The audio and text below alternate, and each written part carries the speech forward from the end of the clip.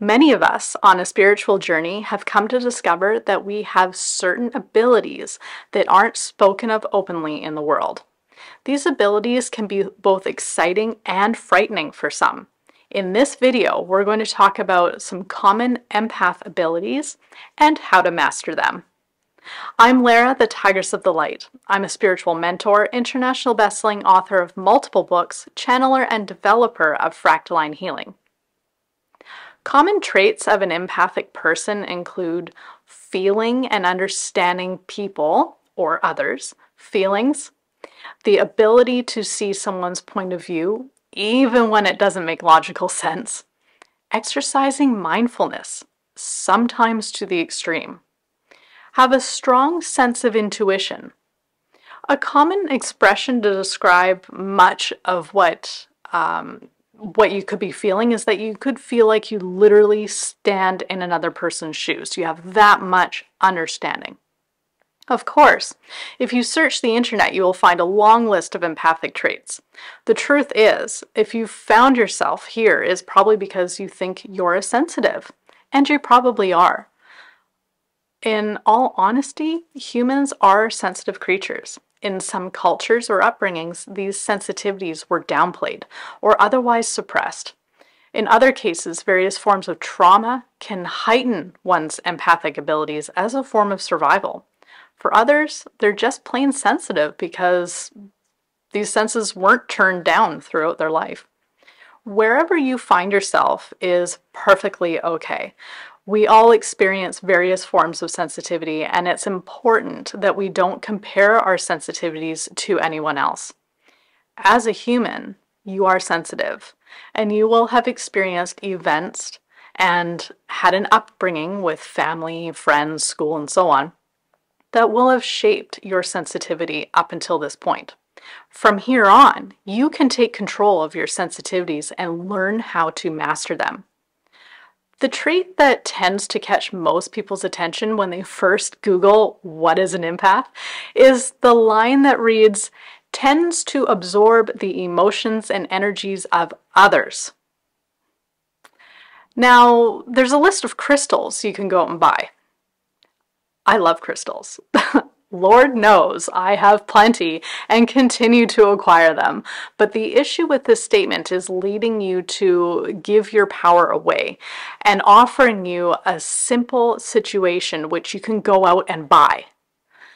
Saying that an empath absorbs the emotions and energies of others is accurate. We all do.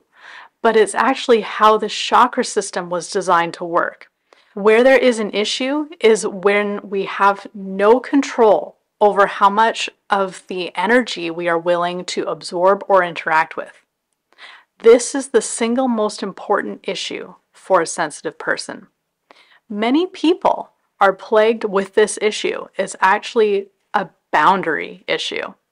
So, if someone is having troubles navigating crowds, gets exhausted easily from hanging out with people, feels overwhelmed by another by others' emotions and so on, there are two tips that I can offer you. First is strengthen your aura. The second one, do inner work to create stronger boundaries.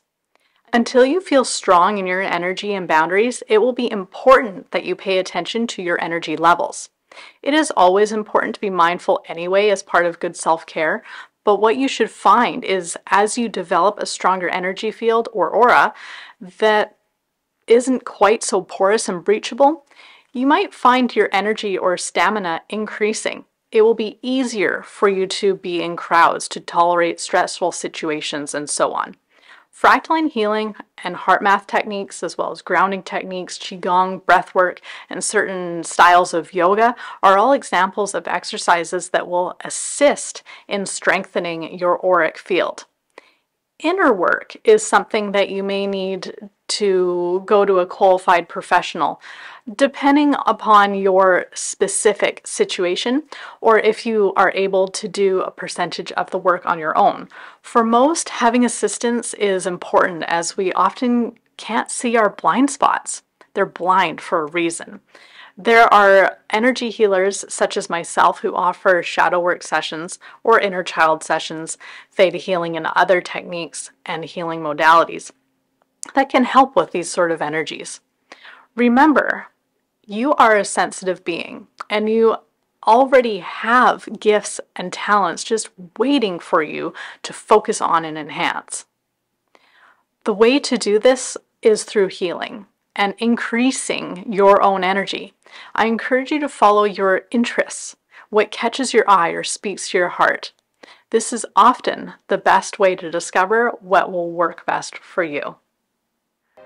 Hey everyone, thanks so much for watching. I hope you found this video helpful and useful. If you did, make sure you like, comment, and remember to subscribe and hit that bell so that you know when we have new videos coming out, which is about once a week.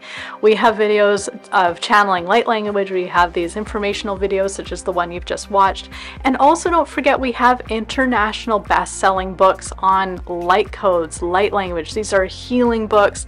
They take you right through a healing journey, which is absolutely beautiful. They are so profound, you guys. You can charge crystals, you can charge your food food and water. You can put them up on your wall and let that energy radiate into your space. There really is so much that you can do with these light codes and they're just right there in the book along with some beautiful messages and meditations and ways to work with them to give you some ideas other than your amazing intuition which is going to guide you perfectly anyway. If you feel a resonation with me, please consider visiting my website. Link will be below.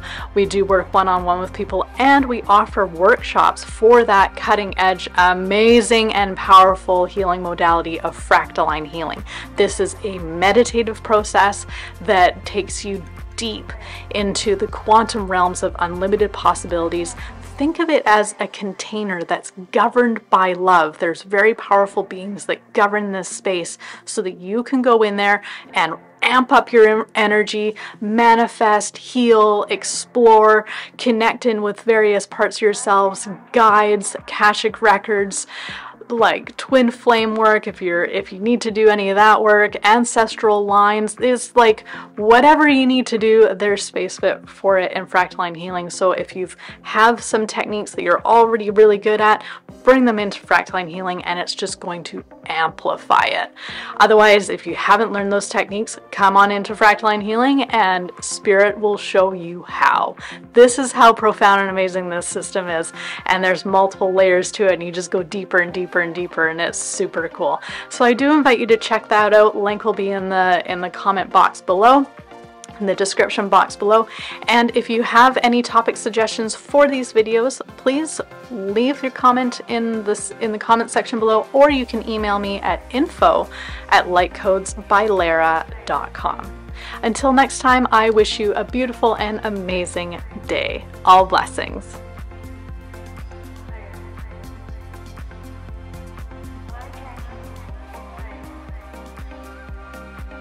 Will find your energy or stamina, stamina, stan, stamina